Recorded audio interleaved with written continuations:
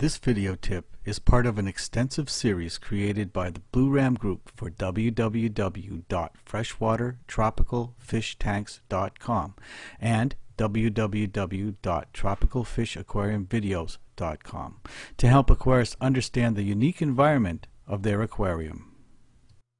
In tip 2, do you really need a stand? Of this setup series, we discuss the reasons for placing an aquarium on a properly manufactured stand. We can't emphasize this enough. Furniture is not the right choice in any case. Tables are rarely made to support heavy objects in general, even though the top may appear quite solid. The underlying support holds the table. The legs and braces required to keep the tabletop in proper shape and prevent warping are rarely in the proper place to ensure that there is an absolutely no variance over time. The only exception is when the table is exactly the same size as the aquarium, which is often only in the case of a designed aquarium stand. Often, the table legs are not made to constantly support the overall weight of the tank and its contents. As mentioned, just a little warp in the top surfaces over time is enough. The tank has suddenly cracked and the contents are on the floor. This is not a defect in the aquarium, it is it was, probably was made correctly and the glass plates were solid enough to do the job for extended periods. The problem is the stress created by the improper support surface that was applied to the glass and the failure was created. Tables are made to hold standard objects, which are not so loaded that minor changes in the table facing would cause stress. The combination of a full aquarium placed on a surface without proper underlying support is definitely not a match made in heaven. But it is not just tables that should never be used. It is even more important to ensure that the aquarium is never placed over electronic equipment. If water is spilled during any time when the aquarium is placed on the stereo cabinet or component cabinet, you can just bet it will fall into the delicate electrical components and probably cause a short circuit. Water always seeks its own level and will move in ways that are difficult to predict.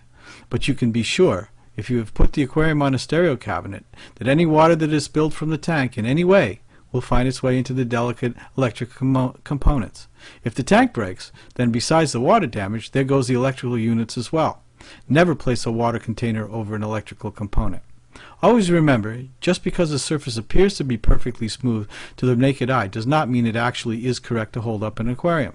Any place where the surface is higher or lower, in some way not perfectly flat, when contacting the aquarium glass planes is a place where the stress crack can and probably will occur. In most cases, a manufacturer's stand does not even try to support the whole tank. Rather, the supports are designed to hold the four corners only. They must be level. Seemingly against common sense, no other contact needs to be made with the aquarium, and usually is not advisable. As long as there is no pressure along the edges and the four corners are solidly held, the stand will not be able to apply deadly pressure to the glass that will cause a stress crack and break the fish tank. This video tip is part of our ongoing Blue Ram Group project. As the video becomes available, each will be mounted within the FAQ section of the websites. If we haven't answered your personal question quite yet, you can get your particular aquarium-related questions answered for free by our experts by filling out the Ask a Question form at the freshwatertropicalfishtanks.com website. If you want to be notified as soon as each new video is made public, we encourage you to subscribe to our YouTube channel and be the first to know each time a new video is added to the Blue Ram channel at http colon forward slash forward slash www.youtube.com forward slash user forward slash Blue Ram 86.